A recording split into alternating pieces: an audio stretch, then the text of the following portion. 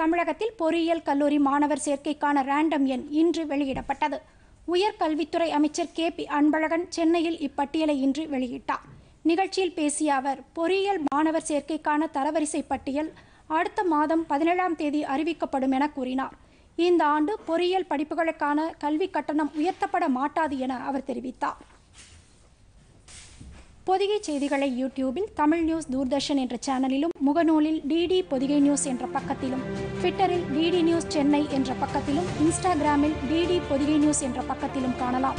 மேலும் உங்கள் கருத்துக்களை Podhigai DD News at Gmail dot com என்ற மின்னஞ்சலில் தெரிவிக்கலாம்.